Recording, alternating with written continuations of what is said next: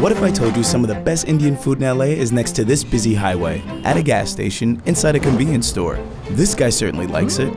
Let's see how this plate of Indian burritos ended up near the Dorito aisle.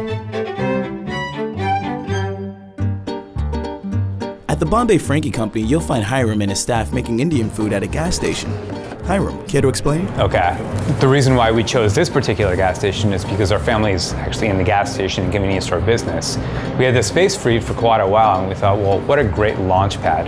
Traditionally, what you might find is unhealthy, non-fresh fare.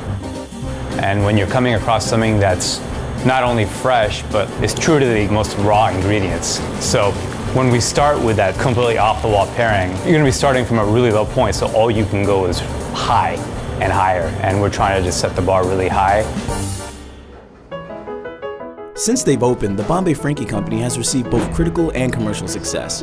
Definitely, our most popular item is the Frankie. In Bombay, sometimes it can be a rolled up sandwich, sometimes it can be an enclosed sandwich.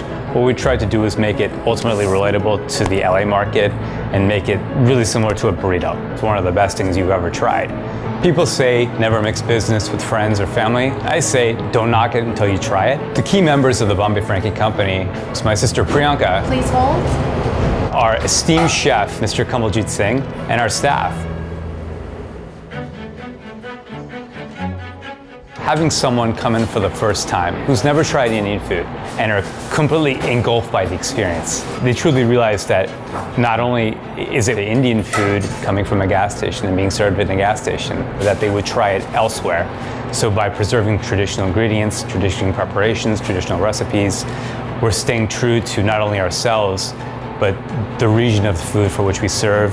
And we want to make sure that you're leaving feeling like you got the true experience.